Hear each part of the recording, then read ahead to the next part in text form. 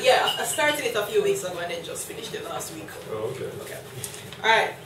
Clit tease. What did you say? I said clit tease.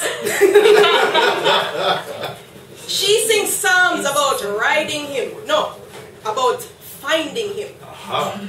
The one who is her everything. The one who makes her soul vibrate and sing. The one who puts her up on a pedestal and then on a freaky swing.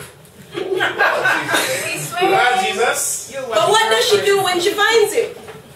She tells him he's not good enough, he doesn't make enough, doesn't wine, dine, or grind her enough, even though he bends over backwards to provide more than enough to give her more than this material stuff. This material stuff that she finds more valuable than him. So she, on a whim, runs off with a crook who pales in comparison to him. One who is not whole enough to build swings for the little ones which way they haphazardly bring into the world. One who can't sing songs, write poems, or recite the histories of them, her, or him.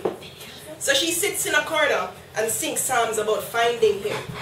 The one she imagined to be her everything, while enduring this thing, this castle, no, this prison that she thought she bought with that thing. That thing she thought was hers to trade for a life that was materially better than others, when in reality, she tried and failed to find redemption for her mother. Enfim.